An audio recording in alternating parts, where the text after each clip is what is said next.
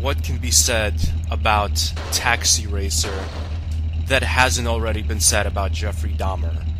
How does this game exist? I mean, really, how does something this horrible exist?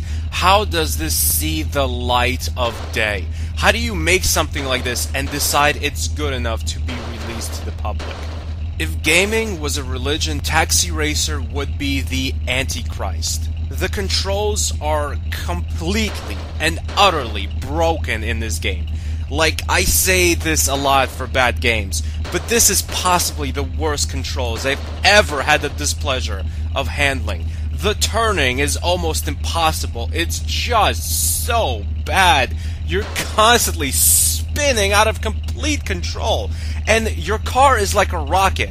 If you hold down the accelerate button, the car just perpetually goes faster and faster until it reaches an insane speed. It feels like something like 250 miles an hour. It feels like one of those rocket cars you test out in the desert, except there's buildings all around here, and turning when driving this fast is almost impossible. So your only options when actually driving the taxis in this game is to just pitter patter the accelerate button. Just press it a little bit, let go. Press it a little bit, let go. And I mean, that's not how you drive a car. In a real car, you just hold down the pedal a little bit. You just you don't keep pressing the it okay, you know, I don't need to explain to you how cars work. I realize all of you are human beings with an IQ over 50. You understand how a car is supposed to work. Unfortunately, the creators of this game obviously didn't. And the game is ugly too. Oh my god, is it ugly. Everything is like a cardboard cutout. I mean, everything is a picture that they cut out from somewhere, possibly a magazine,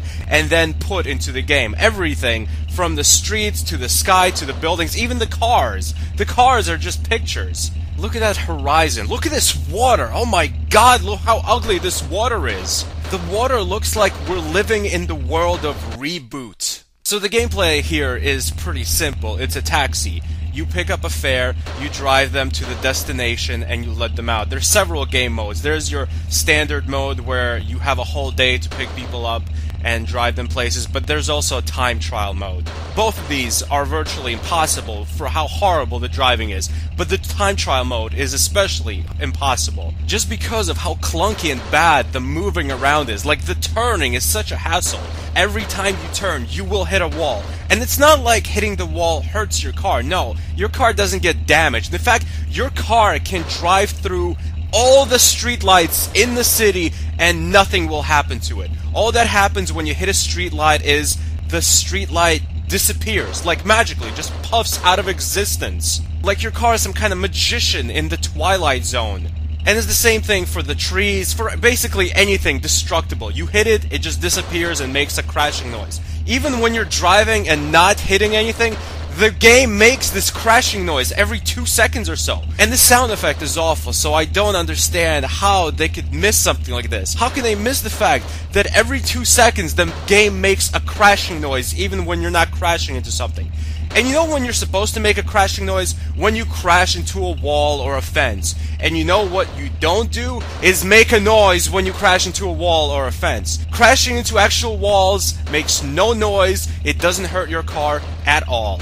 I actually just noticed something while rewatching the gameplay footage. The reason the game keeps making the crashing noise every two seconds is because even when you drive near a tree or a street lamp, it still destroys it. Without even touching it, just being near it, just driving past it, you destroy every single streetlight. This game really does have the worst driving controls ever. What it has going for it, and the reason I'm not calling it the worst game ever, is because the graphics are not the worst. I mean, the graphics are obviously and observably horrible, but we've seen some games with far worse graphics than this, and that's the only thing that's stopping me from calling this the worst game of all time. As it stands right now, Taxi Racer is just one of the worst games of all time. And the game is really inconsistent too. Like sometimes I see other cars, but then I go like 10, 15 minutes without seeing anything on the road. I don't understand how this even works. Are there only three cars in the entire city? And once in a while we run into each other?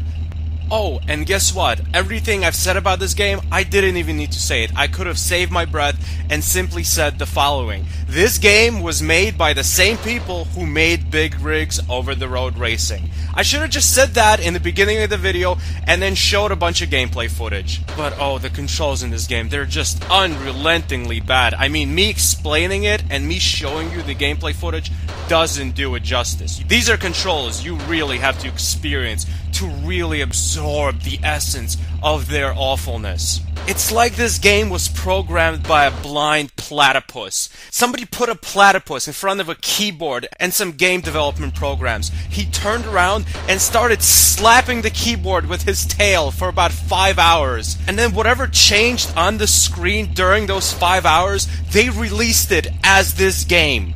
What I'm trying to say is, Taxi Racer isn't very good, fellows. Thanks for watching. Goodbye, my friends.